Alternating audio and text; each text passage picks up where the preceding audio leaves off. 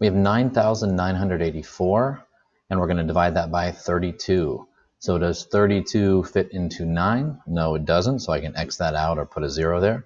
Does 32 fit into 99? It definitely does. 32 times 2, that equals 64. So I'm going to go ahead and say it fits in there two times. I'll subtract 64 away from 99. 9 minus 4 is 5, and 9 minus 6 is 3. It gives me 35. I know my next step after subtraction is to bring down, so I'll bring down the 8. Does 32 fit into 358? It does.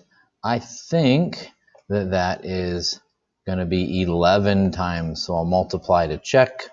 1 times 2 is 2, 1 times 3 is 3.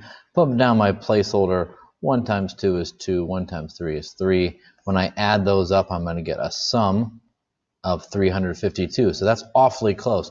So I'll go ahead and say if it's in 11 times, that's 352. I'll subtract. I'm going to wind up with 6.